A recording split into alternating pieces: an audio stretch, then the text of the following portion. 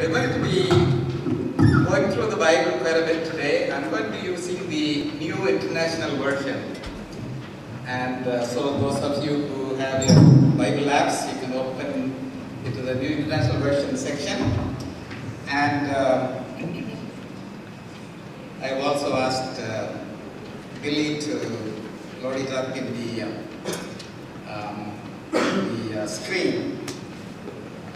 To start out our devotion by looking at the words of the song we sang. Now thank we all our God with heart and hands and voices, who wondrous things hath done in whom his word rejoices. I have sung this song during Thanksgiving season for years but never took the time to really look at how it was composed and what circumstances. It was composed by Martin Rinkart. He was a Lutheran minister living in Germany in, six, in the 1600s. Between 1618 and 1648, they had what is known as the 30-year war.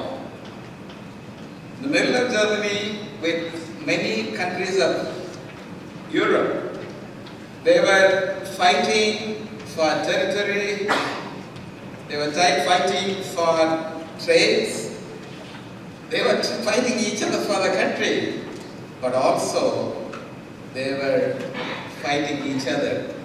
The Catholic Church was persecuting the Protestants, and the Protestant groups were at that time primarily Lutherans and Calvinists. As a result of this persecution, this little city of Eilenburg in Germany had enclosed walls around the city. Refugees came in by the thousands into this little city. And in the middle of this war, there was a breakout of plague and thousands died. Pastor Rinkart conducted funeral services in the tens of hundreds. On average day, he buried between 40 and 50 people. In the middle of this, his wife also succumbed to plague and he had bury her. And in 18, 1636, in the middle of this 30-year war, he sat down to write this song that I've been singing for over 380 years. Now we thank all our God with heart and hands and voices. Can you imagine what was going through his heart as was writing it? The hands he is praising God for were actually burying people. And the voices were voices of mourning. But in his heart, he had this strong faith that everything we are going through this earth is in God's accounts. He keeps our tears in a bottle. And there is a reward waiting for us. God's creative goodness is manifested in this attitude of thankfulness and gratitude. I did a little research uh, in the attitude of gratitude. You know that there are some physiological benefits to just being thankful.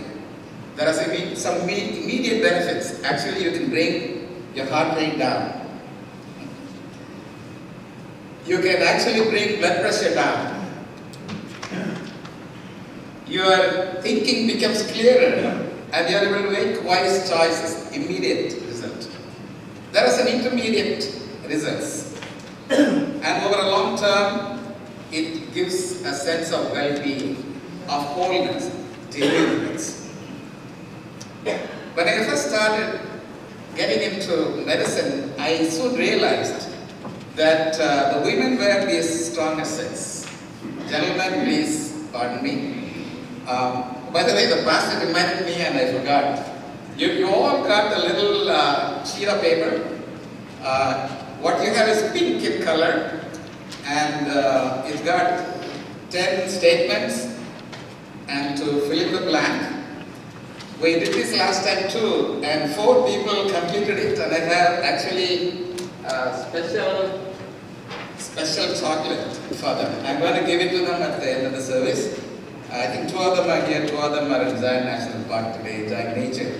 So this is chocolate made of honey, very special chocolate. So uh, please follow along if that is why you need to follow what's on the screen or get your apps going with your smartphones going.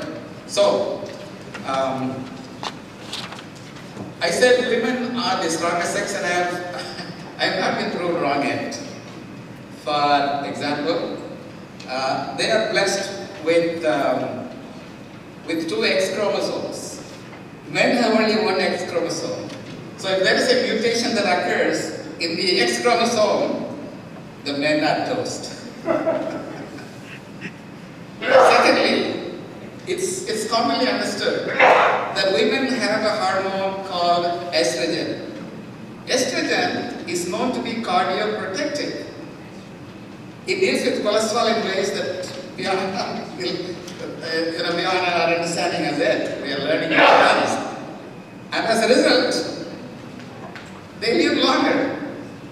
And men may say bird blessed or cursed with testosterone. testosterone actually incites violence and risky behavior. Thirdly, women go through physiological changes when they carry babies or pregnant and they're able to take in a lot of food and take care of it without any ill effects. Men, on the other hand, get into difficulty like I am here.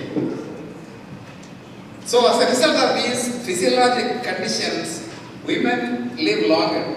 In the United States, women on an average live 6.7 years longer. In Russia, for example, women live 12 years longer. In India, by the way, women live 0.6 years longer. In Bangladesh, 0.1 year longer. There is essentially no difference. When there is severe famine and poverty and uh, environmental uh, illnesses, the gap decreases, but you feed them well, all things being equal, the difference between the men and women is not to enlarge. They are when it comes to gratitude and the attitude of gratitude as well, there is a difference. In the of Personality in June of 2009, Kashdan and his colleagues did uh, analysis on just the attitude of gratitude. People listing things that they are grateful for and taking the time to think about it. They found that women showed greater gratitude. And as a result of that, they were able to satisfy the need to belong. And at the same time, felt more autonomous. This is, you know, they are better with groups and they feel better even by themselves. And uh, they are better integrated. I know that, you know, my one personal, you know, my mother lost um, our father when I was like two, two and a half. And we, uh, I was the seventh in our family seven. And I could hear my mother um, um, sing at night. And she used to sing this song, When upon life's billows you are tempest tossed, and you are discouraged thinking all is lost, count your many blessings, name them one by one. And it will surprise you what the Lord has done. She used to sing this, and I used to hear it as I went to sleep. And uh, women have a better grasp on gratitude. Men, on the other hand, have difficulty even thinking about good things that happen.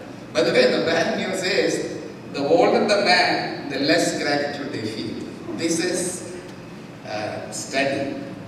And, uh, you know, the practice of Thanksgiving is good and God ordained that it be practiced in the community setting. The Festival of Tabernacles was a festival that was um, uh, that was held for seven days towards the end of the year. Now we call it harvest, celebration. When uh, the harvest is brought and people just came and they celebrated it. And one of the best examples of uh, Thanksgiving service is in the 16th chapter of First Chronicles.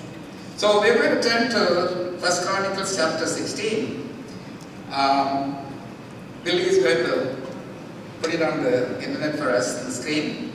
Here it talks about David bringing the ark. You know, the ark had been taken by the enemies and uh, they had brought it from the enemy land because they didn't want it.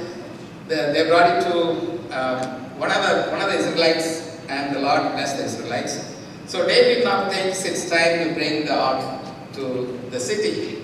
So he does this and the celebration is in result of, as a result of this. Now, um, chapter 16 verse 8, David writes this song and starts out by saying, Give praise to the Lord, proclaim his name, make known among the nations what he has done.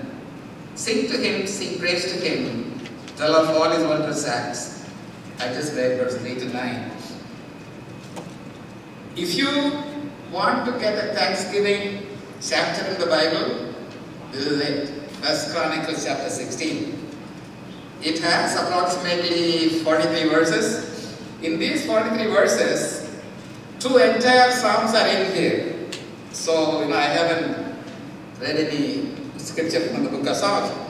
Psalm 105, almost the entire Psalm 105 is here. Psalm 96 entirely is in here. Psalm 136 and Psalm 106, several verses are here. So if you want to read a chapter on Thanksgiving, it is in this chapter. Now, David talks about God. The theme of this chapter is God, thanksgiving to God. God becomes the focus of thanksgiving. He mentions the Lord 14 times in this chapter.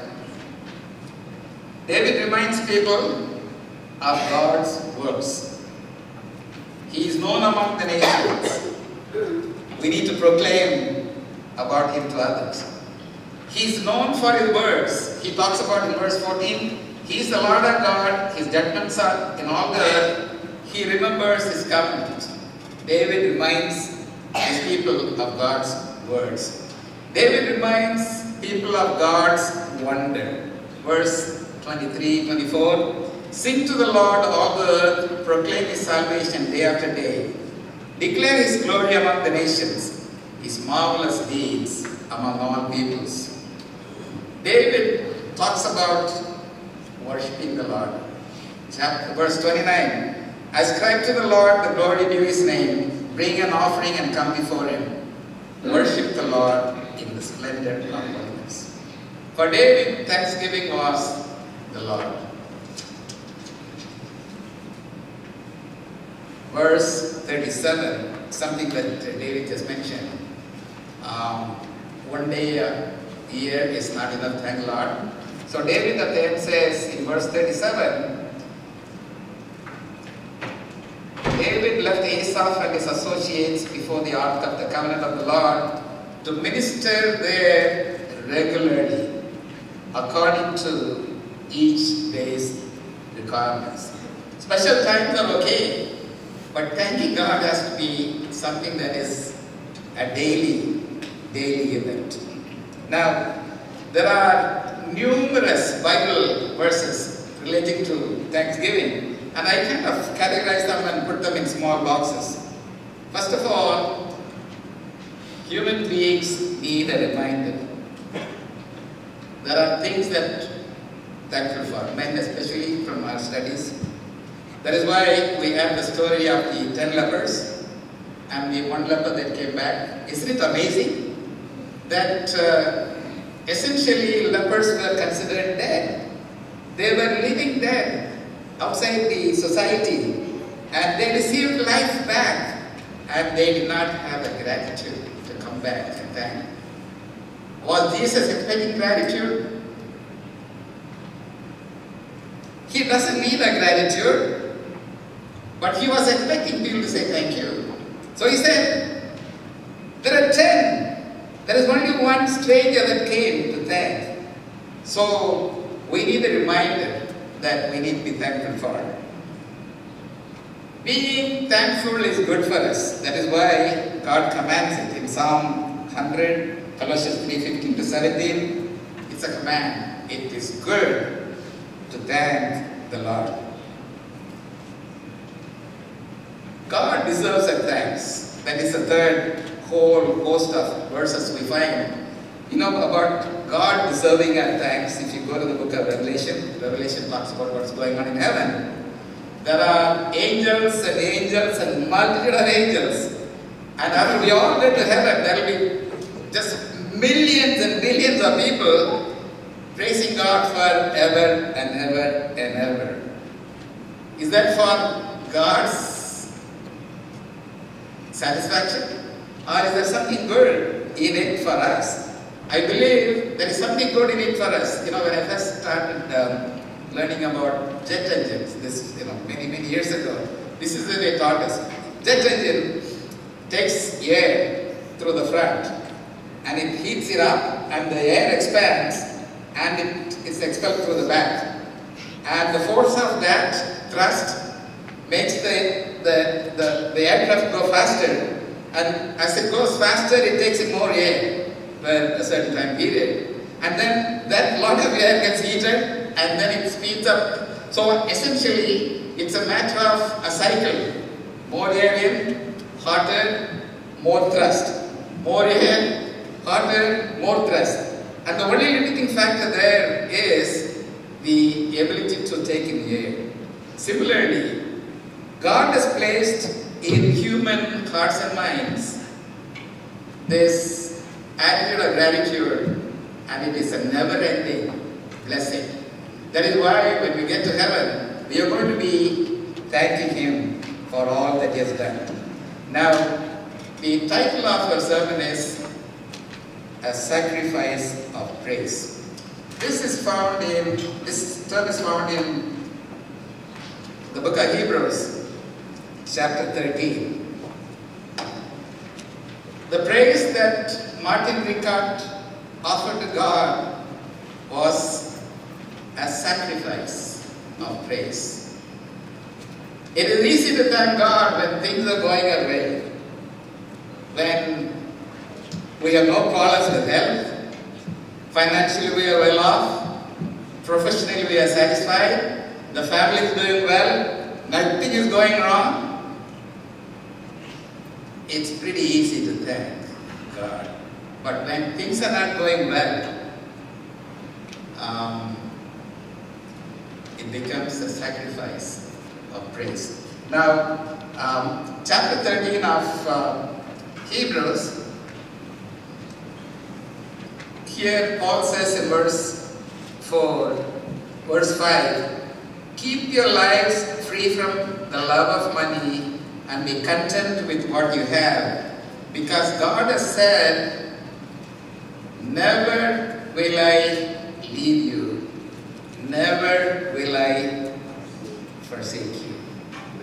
This is God's promise to us to be content with whatever is going on in our life because our portion is the Lord's portion. Whatever He has is ours.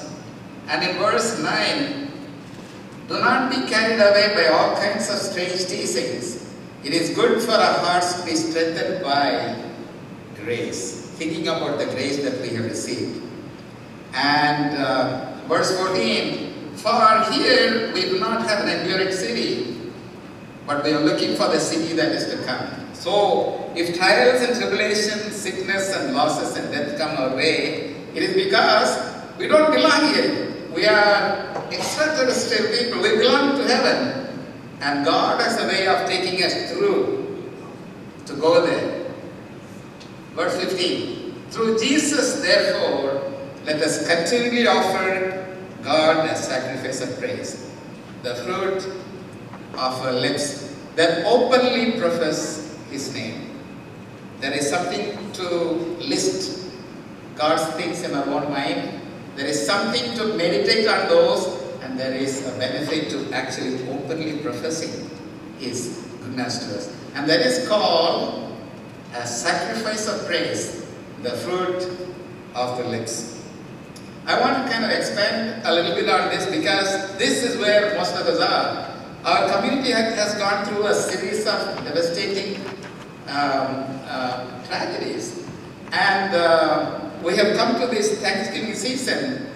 And it is good to know that God takes us through this in order to actually make us more dependent on Him and to realize that our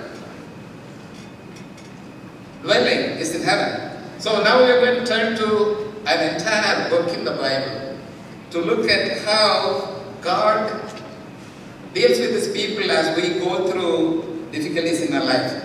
Habakkuk is a little prophetic book in the Old Testament. Habakkuk is a minor, we call him a minor prophet. He is faced with this dilemma. Israel is not doing well. The people, the enemies are coming, there is poverty, uh, rich people are oppressing the poor, there is crime. And uh, he has a dilemma. He is asking God to help. And God says he'll help. But what he's going to do? God is going to bring Babylonians to punish the wicked in Israel. And Habakkuk can't stand it.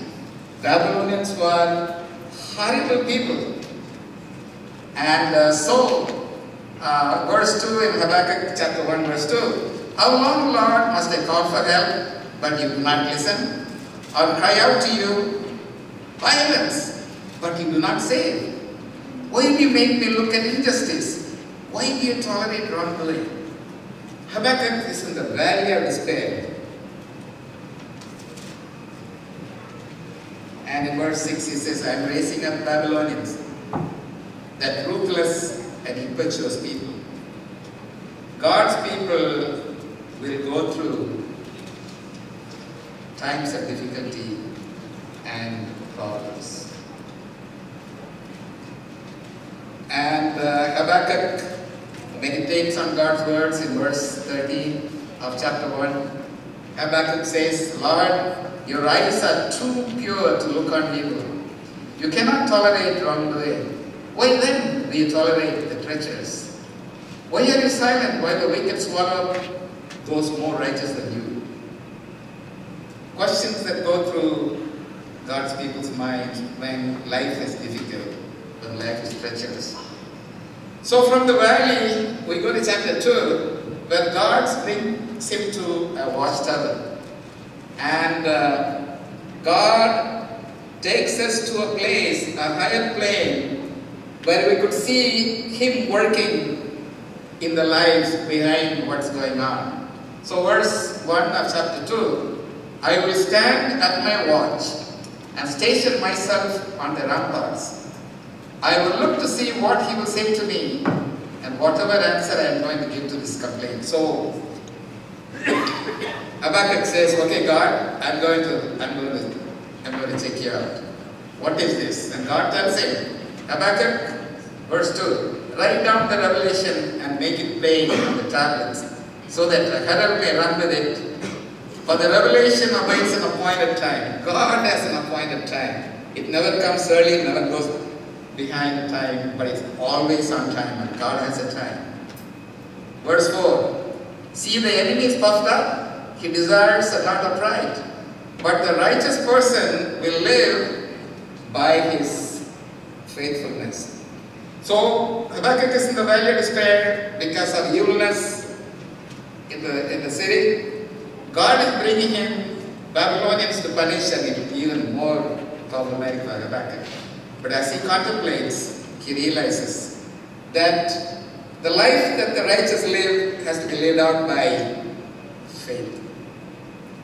Verse 14, if the righteous live by faith, what will happen? The earth will be filled with the knowledge of the glory of the Lord. And Habakkuk ends chapter 2 with this verse in verse 20, the Lord is in his holy temple, let all the earth be silent before him. As we go through these trials and tribulations, God wants us to actually focus on him. He's still in his temple. He is still on the throne. Amidst all the confusion and chaos that's going around in this world. The Bible says people's heart will fail them for fear. We can look up because God is in his temple. As a result of this revelation, Habakkuk now has climbed from the valley to the ramparts to watch, and now he's on the mountaintop, and we come to chapter 3.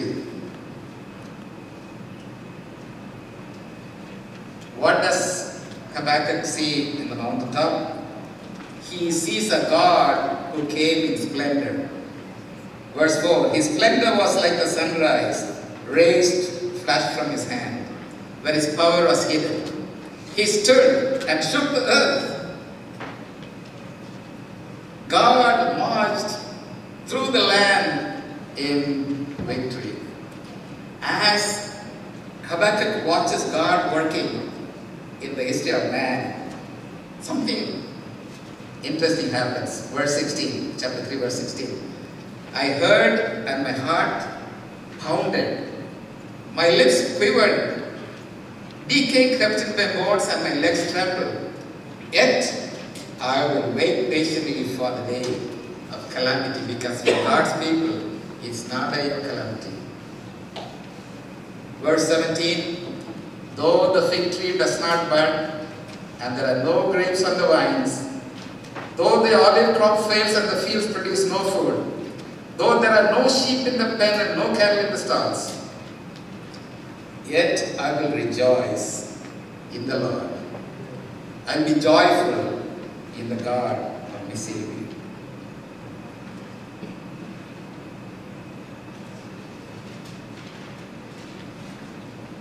God's people do not need to despair. Troublous times will come, but God is there. God does not change circumstances, but will change us to meet and beat the circumstances. Now, uh, this is something that uh, I was really impressed. Why does God allow us to go through this? And the fact of the matter is, is to study the scriptures, that God becomes our partner in this. When we hurt, He hurts. When we cry, He cries. That is why in Peter we can say, He can say, cast all your burdens on Him because He cares for you. When I have a problem, it is okay for me to take it to God and say, God, take it. I think several years ago I read this one placard which I can't remember very clearly, but it is God telling this guy, okay, I am in charge today. You can go to work, you can shop, you can come back, but leave all your worries here because I am in charge. He does that to his people. We don't need to worry about him. Says, come unto me all that labor and heavy laden. I will give you rest. And that is his promise.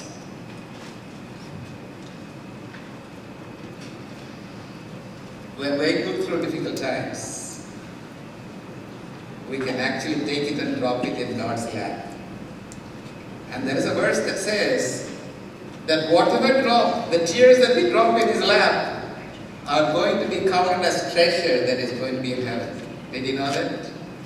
I wanted to read, you know, we, we have read uh, the Sermon on the Mount many times. I'd like to look at uh, what it says in uh, Luke chapter 6. Luke chapter 6, verses 22 23. Looking at his disciples, Jesus said, Blessed are you who are poor. It's blessed to be poor.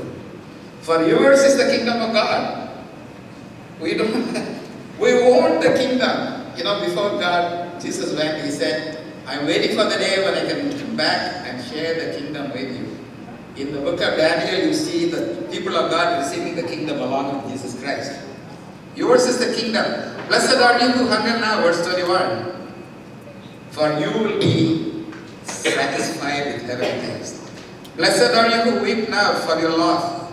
Blessed are you when people hate you, they exclude you, they insult you, they reject you.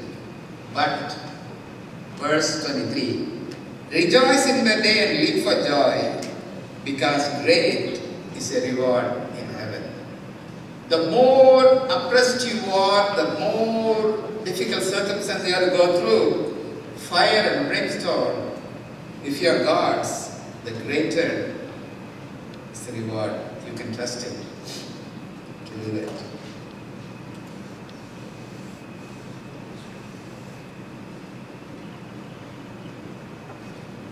When I was um, still working, I'm, I'm still working.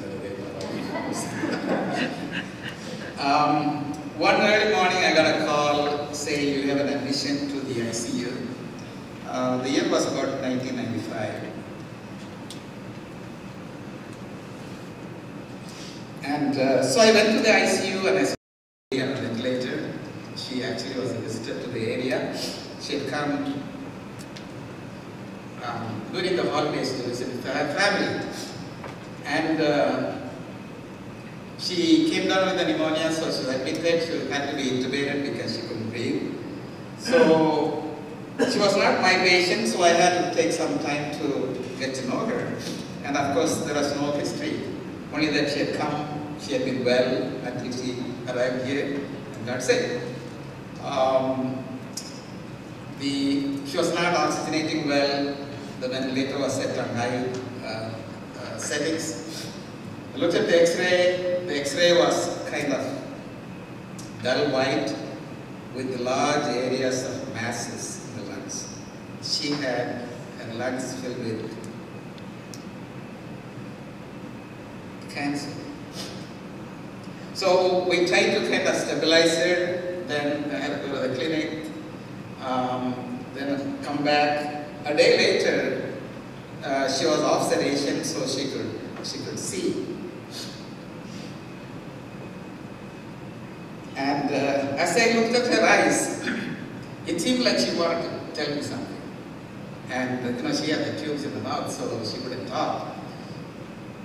So I went and got a clipboard and a pen, and I gave it, uh, propped her up as best as we could, and I gave her a pen, and uh, she started writing. Billy, can you put that up? By the way, um, after our incidents that day, I, uh, I, will tell you uh, once Billy has that uh, up. So she started writing, and uh, you can see it here. Uh, every every letter was an effort. She wanted to know what day it was. She had lost count of time. And uh, then the next line it says, need my glasses, and she marked red. So I scanned through the, um, the table next to her and found her glasses in the dirty, um, you know, say many hands. So I, I washed it and uh, dried it and put it on her. Then she wanted to know um, how long before I can and talk. She wanted to know how long she's going to be on the ventilator. I really do not know what answers I gave her. Uh, I think uh, on the right on the right hand side you can see pneumonia and X-ray. So I must have said something about um, uh, her condition. Then what really grabbed me was what she wrote at the bottom. You have all been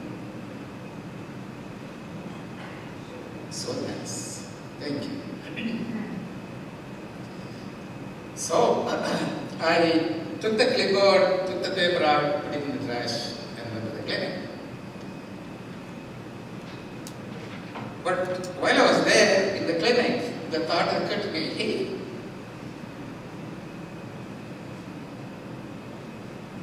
here is something that's precious.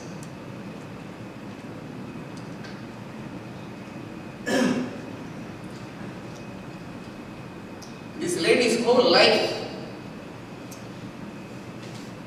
to a short focus In these words, she uttered in her deathbed. So when I had a break, I ran back to the ICU. Unfortunately, they had not emptied the trash. So I picked it up. And uh,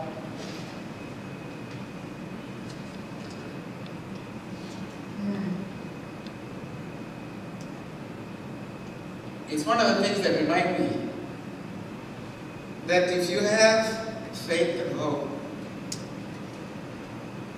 what goes on in life is just a stepping stone. This lady had no anger, no remorse. She was peaceful when she died the next day. Never forget it. This is a treasure. The Wesley told me that uh, Pastor Randy Roberts preached on 1 Thessalonians chapter 5 verse 18. I have a story to tell about that too. It was my niece, uh, Susan. Uh, she is, you know, you know that she had both liver transplant, kidney transplants, not once, multiple times. And her husband uh, used to visit her and one day she's on the ventilator and he's looking at her she could see that he looks discouraged. so she asked for him to bring a clipboard and she wrote these words. Can we have the next? It says, in everything, give thanks. And that is what. And I have this. So as a result of her, we, our family decided we'll memorialize that and uh, we have the shirt. I think many in our community got a copy of the shirt. It's a precious shirt. For me, she wrote at the bottom, I am thankful for you, Mustafa and Susan.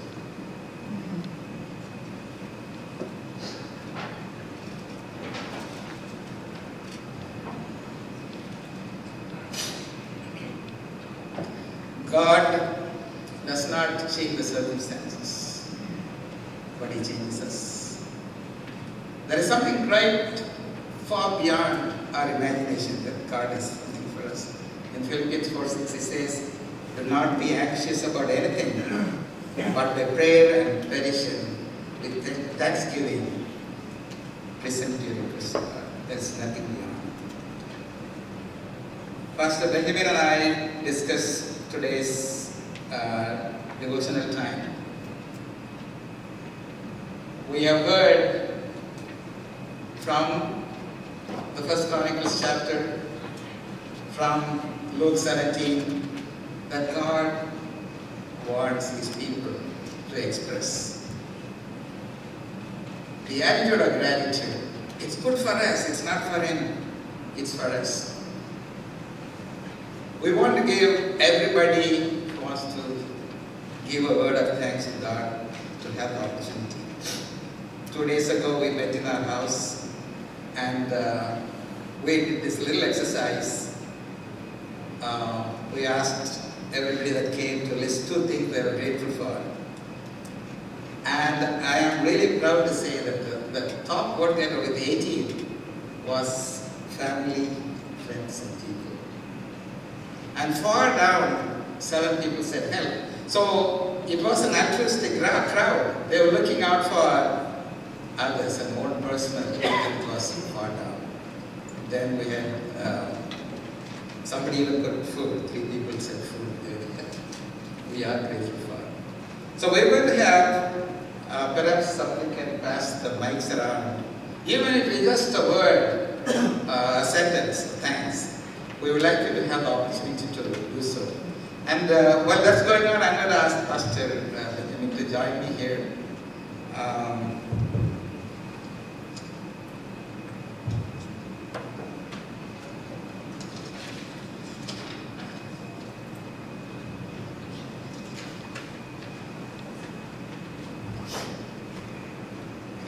It's not for us, it's not for each other, it's not for God, but our personal self-interest. So, um, we don't want to take too long. Uh, the food is waiting for us. Raj, you have it uh, in your hand. You want to see? You're just helping? Okay. There are a couple of hands.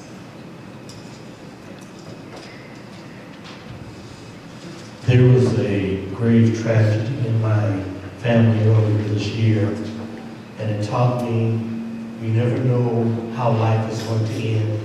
If you don't take advantage of it at that time, you may lose everything.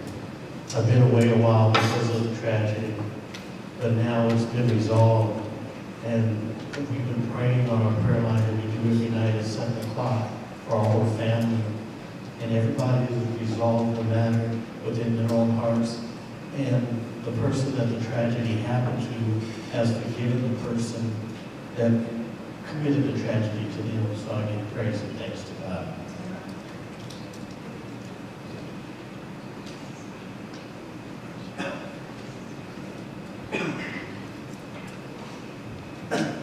I want to thank God for all His blessings.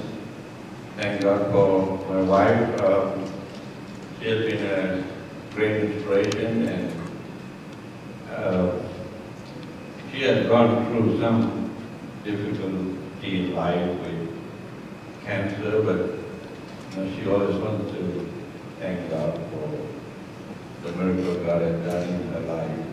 So I'm speaking on her behalf. God has been good to us. We just uh, uh, came back from a vacation. Uh, you know, we just wanted to, I've been in California since I came for 30 years. We thought, okay, this time we wanted to go away from California to see the beauty and the wonders God has created through the beautiful fall colors. And we had the opportunity, uh, two weeks, just take a road trip to just drive through all the Midwest. All, we were just so amazed with the beauty God had created. And we are so thankful that we got to enjoy it. We drove almost about 4,000 miles. God blessed us with a safe and a wonderful trip. And I want to thank God for all the blessings that He has given us in our life. Are there any others?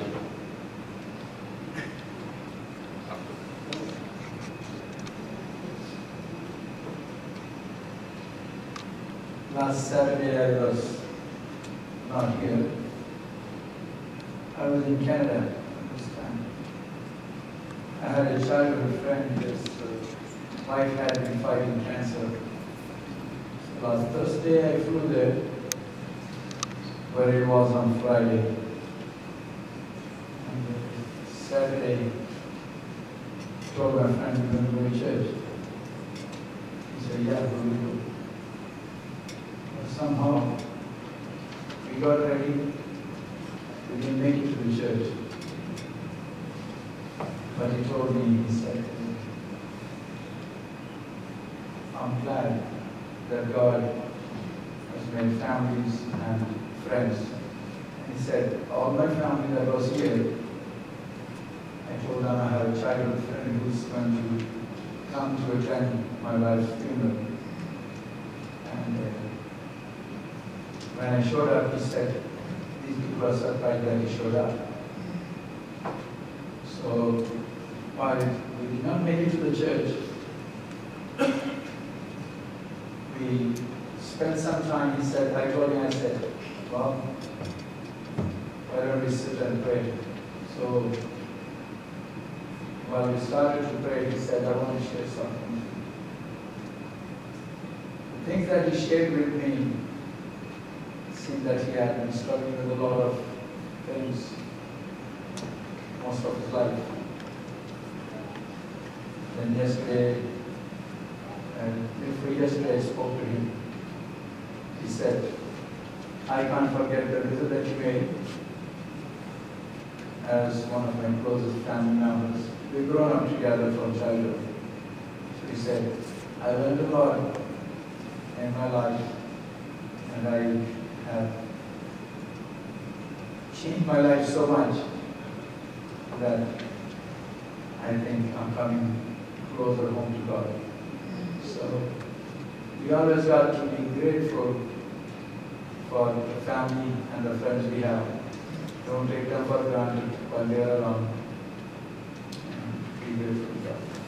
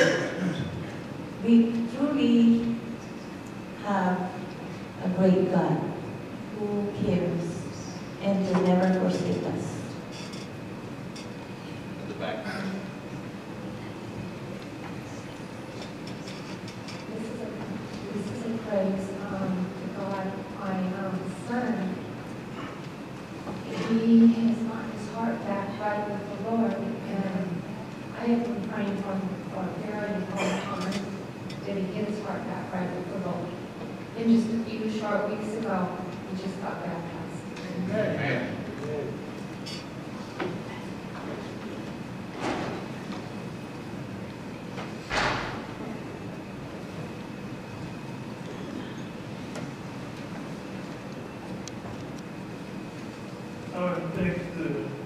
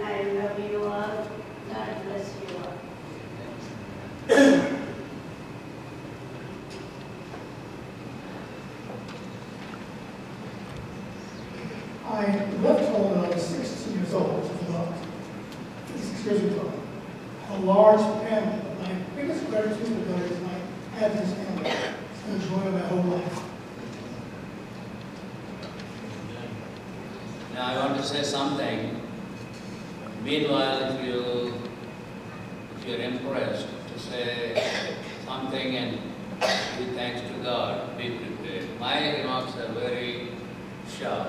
You know, thank you, Dr. Moses, for this opportunity. I usually give altar call, but today I'm just like any one of you, especially at times like this. In the last three weeks, I have seen the wonderful love of our church members, our friends and relatives. Man, tremendous. People came to our house, fed us, took out plates and washed them and kept them in the cupboards. And they called us three, four times a day to check on us, how we are doing. And some people, some families brought us food. You know, awesome. I cannot ask for a better congregation than this. And once I went for a prayer meeting on Friday, I was stuck there and I was pretty bad. So another family came there and gave us the ride. And in fact, uh, somebody gave me a chiropractic massage there. And uh, it was just awesome. And so many prayers. You know, I just thank God for each one of you. Even some people came to recovery room and uh, when my wife had surgery. It's awesome. I just can't ask better congregation than this. At this time, before you decide if you want to say something, I'd like to ask our elders to come up.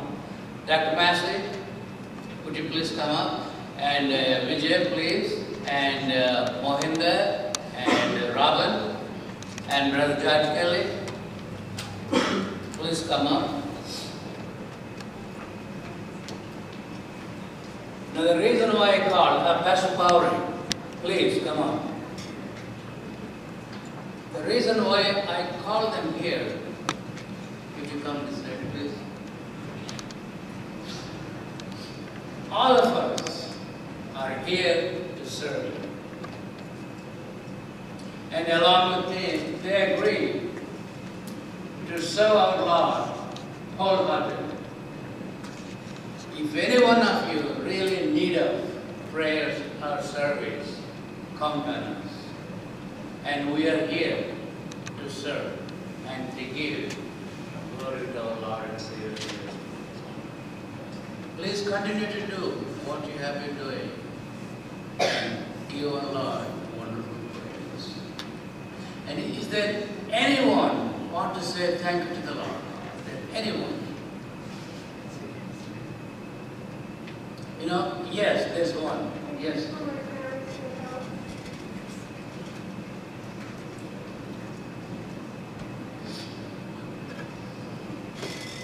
Thank you for my family's good health. Thank you. That's a wonderful testimony. Thank you, thank you, Lord, for my family's wonderful health. I know each one of you have something to thank God. Sometimes we are bashful to say anything. But before we pray, I'll ask all the congregation, if you're thankful to our Lord and Savior Jesus Christ, would you please stand up? You don't have to say anything. If you want to surrender your life to Jesus Christ, once again, would you please? And let's close our eyes and in silence thank our Lord. And I'll ask our elders to stretch your hands towards the congregation and invoke the Spirit of God. May the Holy Spirit come upon each one of us. Let us pray. Almighty God, what a privilege this is to come to you this afternoon to resurrender our lives to you. As we stand up, as we give our hearts to you, Lord, please accept our sacrifice, our dedication. We the leaders standing here, Give us the humility and patience and the spirit of dedication to serve. We, the congregation, dear Lord, we need you more than before. Some of us are very sick, not doing well spiritually, financially. Dear Lord, we seek your presence. Bless each one of us. May we completely, wholeheartedly follow you because we love you, Lord. But above all, you love us very much. Therefore, in humility, we pray all this blessing in our Lord and Savior Jesus